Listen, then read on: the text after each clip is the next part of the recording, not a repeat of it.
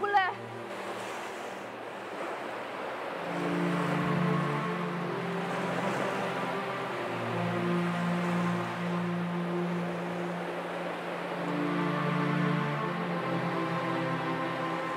ผมเข้าใจคุณนะ ผมเองก็ถูกบังคับตั้งแต่เด็กเหมือนกัน เข้าใจเหรอ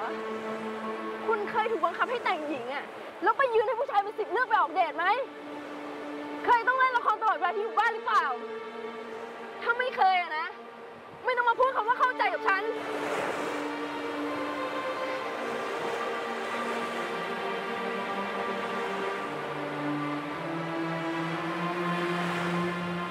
ผมเคยถูกบังคับให้ฆ่าคน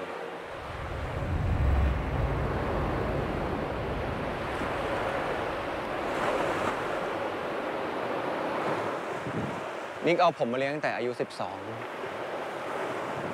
เขาอยากให้ผมเป็นเหมือนเขา บังคับให้ผมจับปืนกระทืบคน ฆ่าคน ไม่ได้ฆ่าแค่หนึ่งฆ่าทั้งครอบครัว แล้ววันนี้เขาก็บังคับให้ผมต้องแต่งงานกับคุณ ถ้าผมไม่แต่งเขาจะฆ่าคนที่สำคัญที่สุดในชีวิตเขา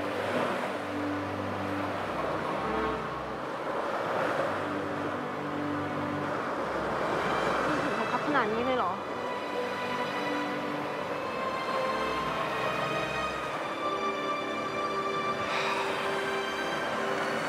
ผมรู้นะ ผมทำให้คุณอึดอัดทำให้คุณไม่สบายใจ แต่ทั้งหมดมันน่าจะมีวิธีที่ทำให้เราเป็นแฮปปี้ทั้งสองฝ่ายไม่ใช่เหรอ วิธีอะไร นายน้อยครับนายน้อย รู้ตัวมือปืนที่รอบยิงเจ้าโสยางแล้วครับ